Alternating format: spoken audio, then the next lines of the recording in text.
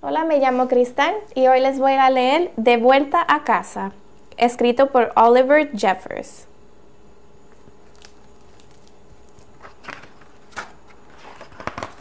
De vuelta a casa. Había una vez un niño que un día mientras metía sus cosas al armario encontró un avión. No recordaba haberlo dejado ahí, pero se le ocurrió que igual saldría a volar en él inmediatamente.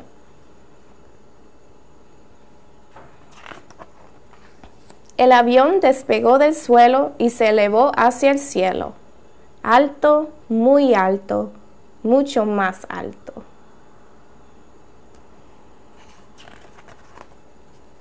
De repente el avión empezó a hacer ruidos. Se había quedado sin gasolina.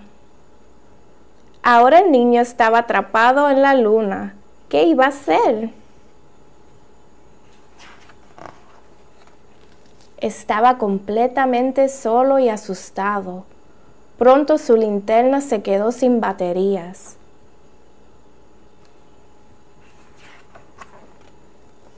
Arriba, en el espacio exterior, alguien más también estaba en problemas. Su motor se había descompuesto y llevando la nave hacia una luz que titilaba, aterrizó de golpe en la luna. Tanto el niño como el marciano oían ruidos en la oscuridad y ambos temían lo peor. Pero cuando sus ojos se acostumbraron a la oscuridad, cada uno se dio cuenta de que había encontrado a alguien que también estaba en problemas, así que ya no estaban solos. El niño le mostró al marciano su tanque vacío y el marciano le mostró al niño su motor descompuesto.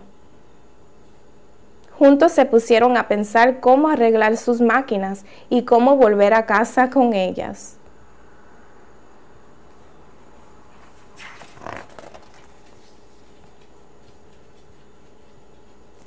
El niño brincó a la tierra para recoger las cosas que necesitarían.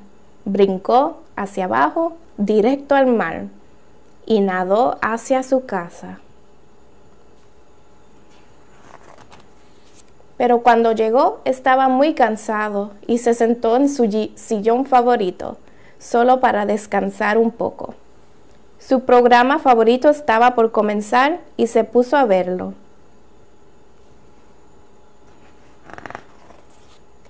De pronto se acordó de lo que tenía que hacer y corrió al armario para tomar lo que necesitaba. Salió corriendo y gritó, pero no hubo respuesta. No podían oírlo. El niño escaló hasta un lugar más alto, volvió a llamar y esperó.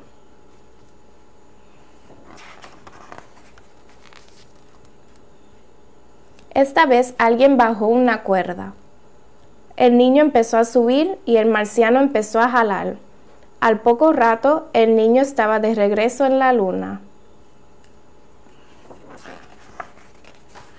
El niño reparó el motor del marciano con la llave de tuercas apropiada y el marciano llenó el tanque de gasolina del niño. Se despidieron y se dieron las gracias por la ayuda que cada uno le había dado al otro. Se preguntaron si volverían a encontrarse algún día. Después de una larga noche, finalmente los dos pudieron dejar la luna. El niño tomó un camino y el marciano otro, ambos de vuelta a casa.